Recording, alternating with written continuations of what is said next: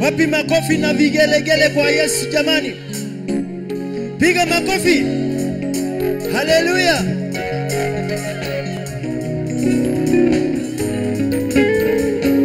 Haleluya.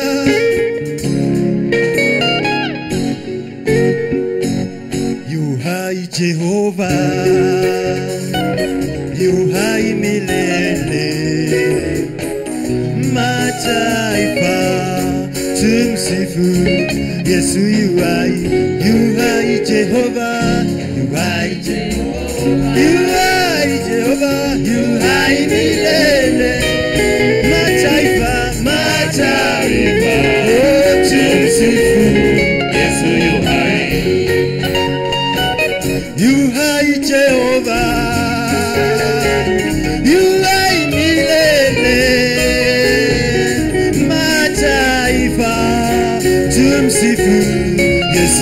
yu hai, yu hai Jehova. hai Jehova, Wapi makofi jamani we? yu hai milele.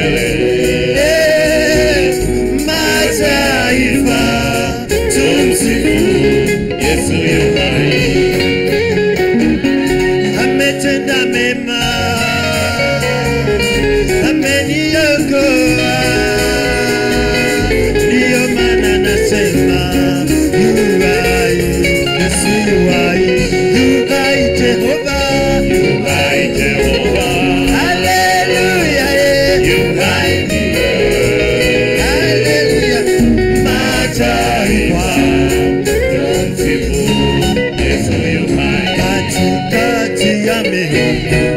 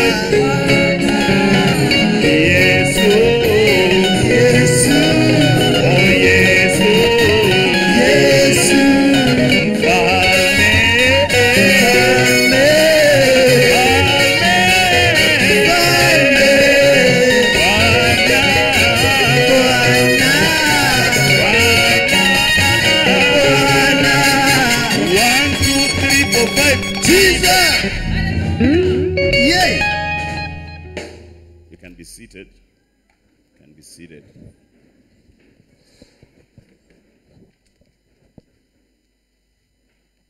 Praise Jesus. Amen. Bwana asifiwe. Nimekoka Yesu ni Bwana. Asubuhi ya leo, eh, saa nane ya leo. Ah, bado haijafika afternoon. Is that watch correct? Oh yeah, it's correct. So, uh, I want to go and share uh, on God our healer. Praise God. God our healer or Jehovah Rapha. Let us pray. Our Father and our God, we thank you. As we go to hear your word, oh God, speak to our lives, speak to our hearts. Lord, I pray for your unction upon me, that Father, I will communicate, that I will be able to speak that which is in your mind. I pray, Father, that this word shall find a place in the heart of your children every distraction by the enemy, any kind of wandering minds to oppose your children from hearing, I arrest it in the name of Jesus. I declare the blood of Jesus upon each and everyone that is gathered under this roof and my hearing that, Father, you are going to reveal yourself upon them even through your word. In Jesus' name we pray. Amen. Bwana sifiwe. Bwana sifiwe. This is the second service. And uh, as we continue, our, we are going to actually look at several areas in the Bible which reveal to us the healing that God has released upon our lives. Bwana asifiwe. We know that health is one very, very important factor that everybody wants to have good health. We know when sicknesses come, you know, everybody gets disturbed, everybody gets disoriented. And God has his way out concerning our health. And as people who believe in him, as people who actually serve him, we have a cover beyond the NHIF cover. Bwana asifiwe. Bwana asifiwe. Because for one thing, there are sicknesses that are tormenting people and even medicine has not been able to help them because some has been demonically charged. Bwana asifiwe. Bwana asifiwe. And we know very well that when we have the knowledge about the healing of God that is in dispensation for us, then we will not fear.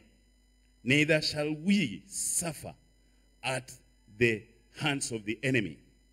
I want us to read from uh, 3 John, 3 John verses 2 and 3 as uh, I begin. As I begin. 3 John. 3 John verses 2 and 3. Okay. Let me open my Bible. It's it.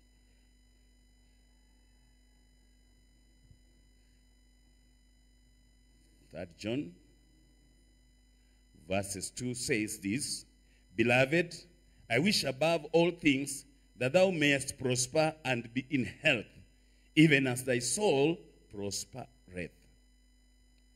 For I rejoiced greatly when the brethren came and testified of the truth that is in you, even as thou walkest in the truth. Bwana asifiwe. Bwana asifiwe. So, you know, this is a desire that God has for all of us. This was written by John that he desires that even as we prosper, we, good, we be in good health. When you are not in good health, there are so many things that you are unable to do. There are many things that cause you to be stuck. And therefore, one of the very primary things that we cry for or we pursue is good health. Bwana asifiwe. Bwana asifiwe. So this is in the word of God and it is for us. It is for us. So we need to know that there is health that has been released by God for us to make us be able to operate without any kind of oppression because of the infirmities that come through sickness. In the Bible, the entire Bible, as you read, you'll have many scriptures that are assuring us about the divine healing of God. And therefore, we should not at any time, when we feel like we are getting uh, unwell, think that that is the will of God for us. Because some people will say, okay, it is the will of God that I be sick. It is not the will of God. God desires that we be in good health. God desires that we be in good health. It is when you are in good health that you can praise your Maker.